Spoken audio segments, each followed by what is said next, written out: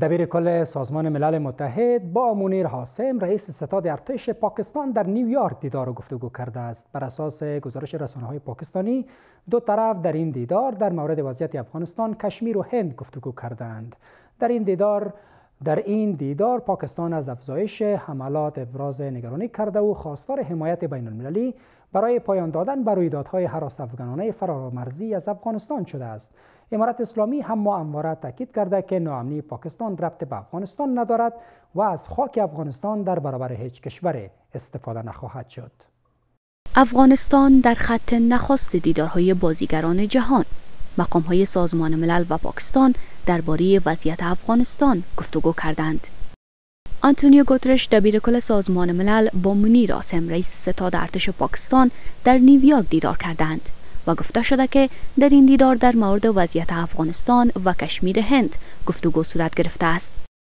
بر اساس گزارش رسانه های پاکستانی این کشور همچنان از افزایش حملات ابراز نگرانی کرده و خواستار حمایت بین المللی برای پایان دادن به رویدادهای حراس افغانانه فرامرزی از افغانستان شده است.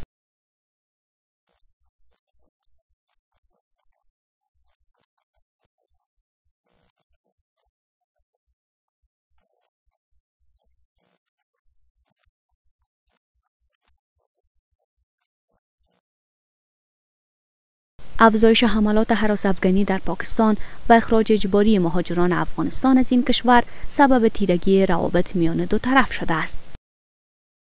مقام های پاکستانی همواره ادعا می کند که دلیل ناامنی آن کشور افغانستان است و شهروندان افغانستان در حملات حراس افغانی پاکستان دست دارند.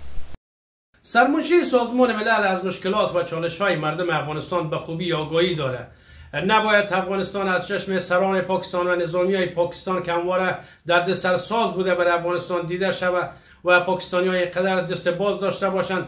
این دیدارها و ملاقات ها با واسه از اینکه بدت بخوری مردم افغانستان است و برای حل مشکلات افغانستان فایده نمی‌کنه. حتی باعث نگرانی مردم افغانستان هم میشه. اما امارت اسلامی همواره تاکید کرده که نامنی پاکستان ربط به افغانستان ندارد و از خاک افغانستان در برابر هیچ کشور استفاده نخواهد شد. همه جان می‌فهمه که مرکز توریسم و افغانی در پاکستان بوده و در پاکستان حمایت می‌شد پرورش می‌شد. و خود باز فعالیت های اخیر افغانی در پاکستان هم توسط ایسای پاکستان را اندازی میشه.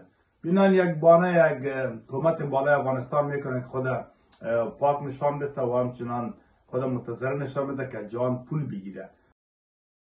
گفتنی است که حملات گروه های وابسته به تحریک طالبان پاکستانی در ماههای اخیر در آن کشور افزایش یافته است و بر بنیاد گزارش های نشر شده تنها در یک هفته پسین در پی یک حمله مسلحانه و یک انفجار موتر بمب در ایالت خیبر پختونخوا دست کم 25 نیروی پاکستانی کشته و شمار دیگر نیز زخمی شدند